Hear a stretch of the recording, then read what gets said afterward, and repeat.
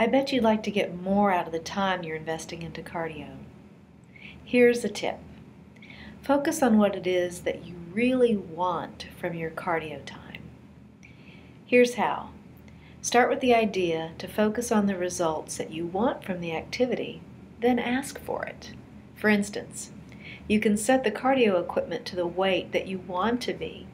That way, every time you step on that treadmill or that elliptical, you see that weight on there and you say, Yep, that's what I weigh.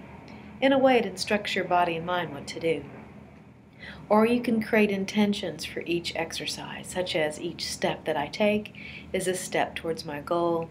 Each minute that I walk is another minute of healthy living I'm adding to my life.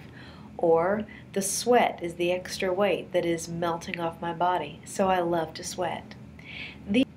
These words activate the mind body connection and instruct your body to do what you want it to do. All you have to do is ask.